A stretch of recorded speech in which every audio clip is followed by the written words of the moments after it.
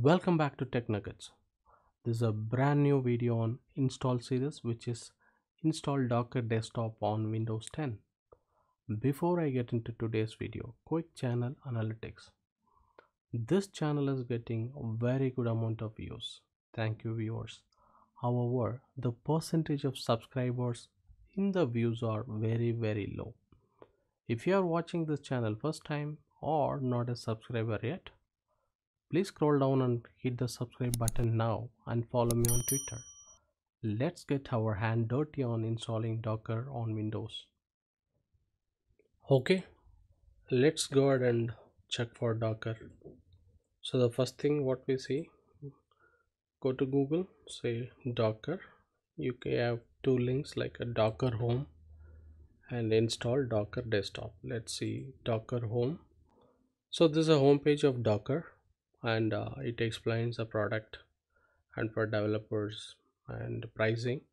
So this is um, free for personal use and developers. However if there is a organization if there is a commercial use there is a price involved okay?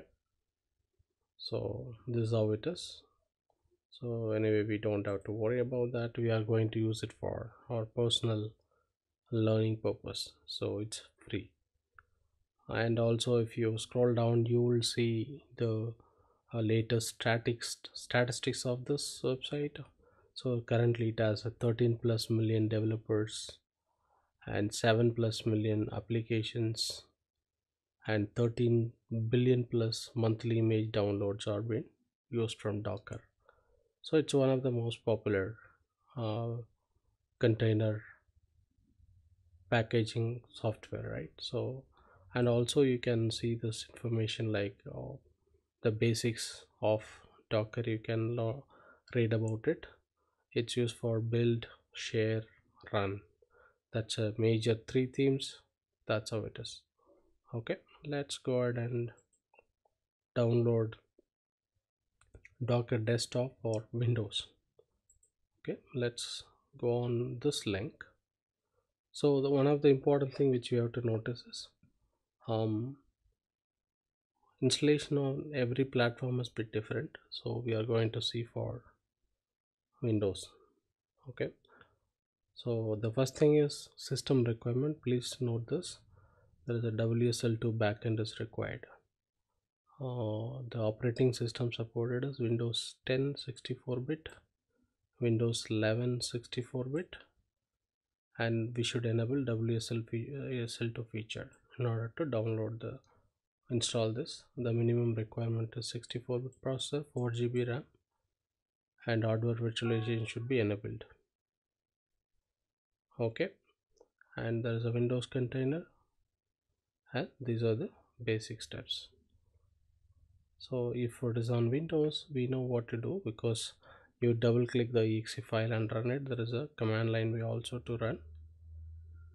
So all of these options available so first thing let's go ahead and click on docker for docker desktop for windows. So i already have downloaded this. So it's about uh, 493 mb so it will take some time. So click on and download. Then we'll see how do we install this. Okay. The file is downloaded it's ready to install. It's about um, 493 MB okay? Let's go ahead and uh, double click this.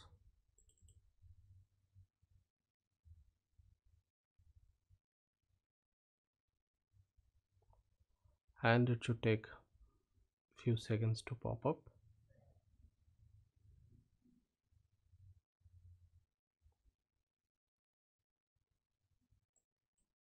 Let us see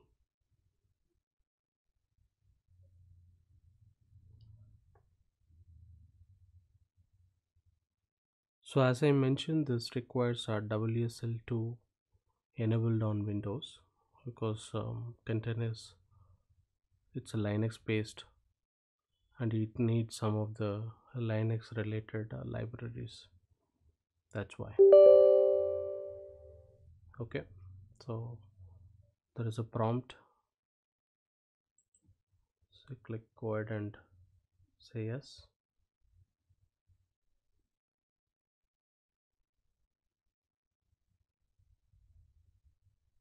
it's actually opening.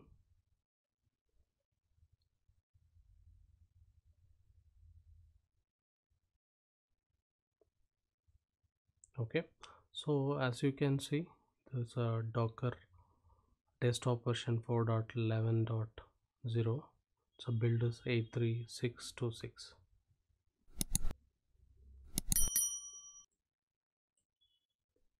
so make sure this that you check use WSL2 instead of Hyper-V recommended.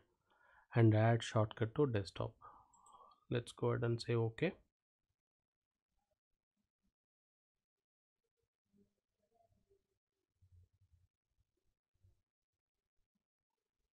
It should take a couple of minutes.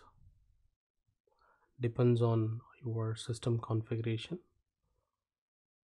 The installation time will vary. Okay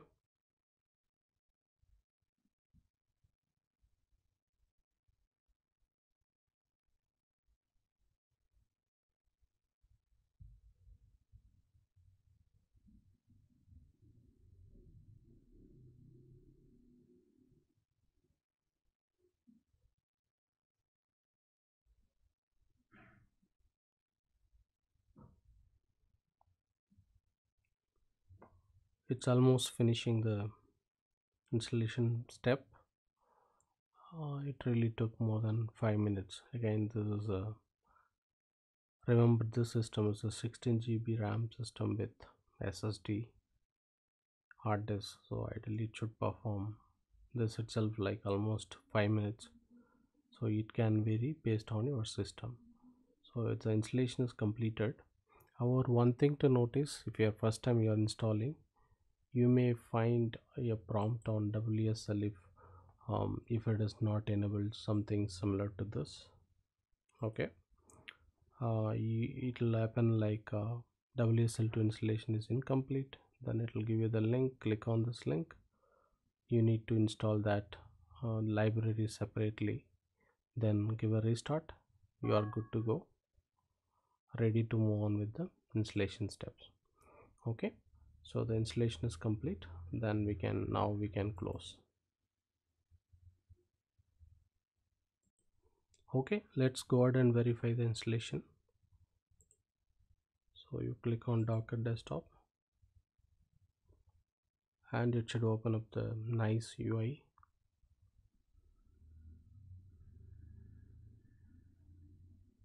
it's opening up. It's a bit slow but it is coming up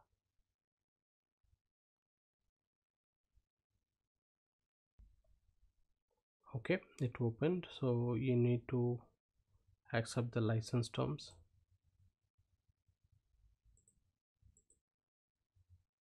You are ready to open the desktop.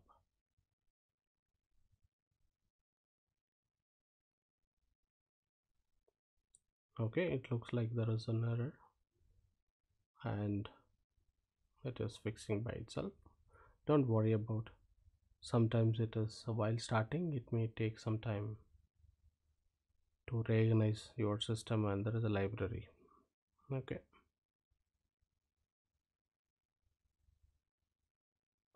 Again this is also based on your system's configuration or docker desktop starting process. Speed will vary. If it is um, really a good configuration fairly it'll quickly it'll start up. Otherwise it'll take some time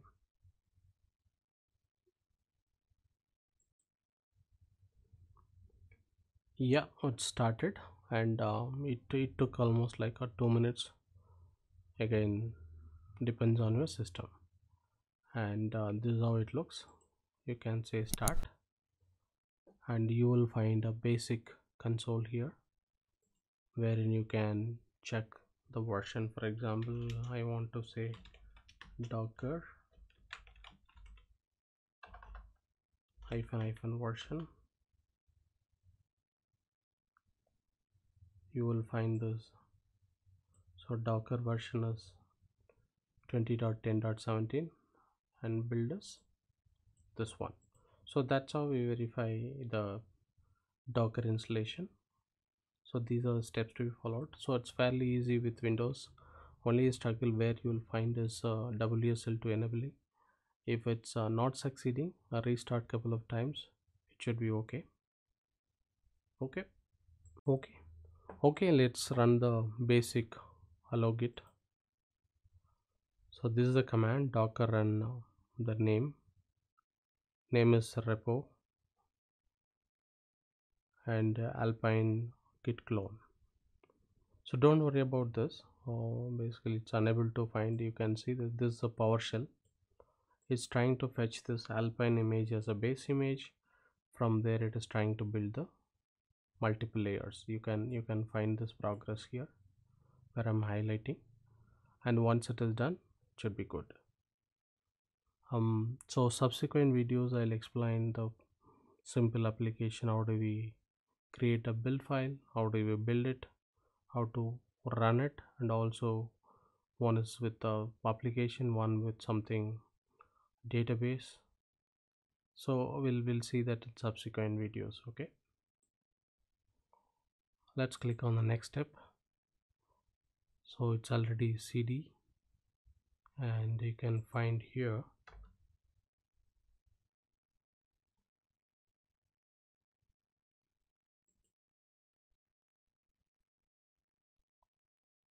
Okay now this one what it is doing is it's um, docker build minus t. It's tagging with the docker tutorial and and the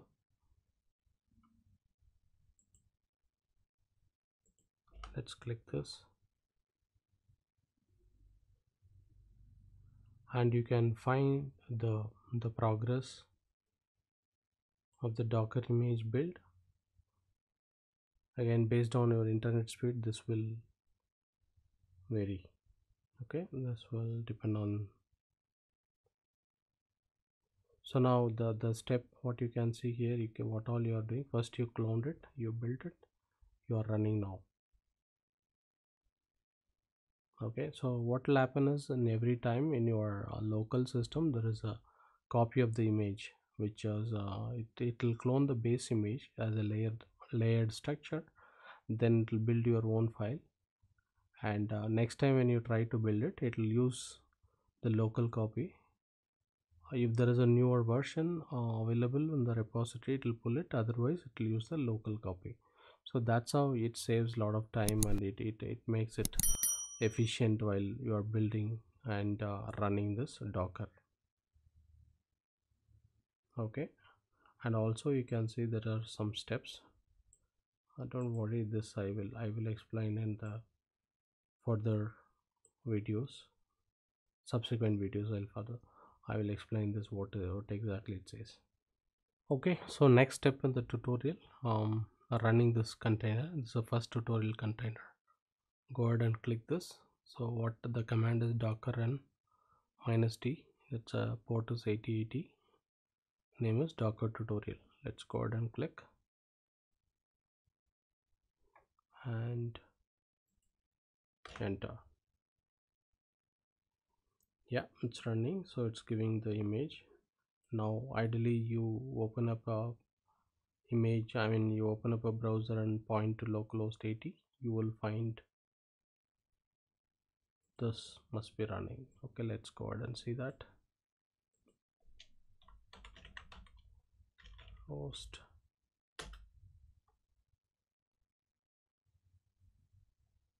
Not 8080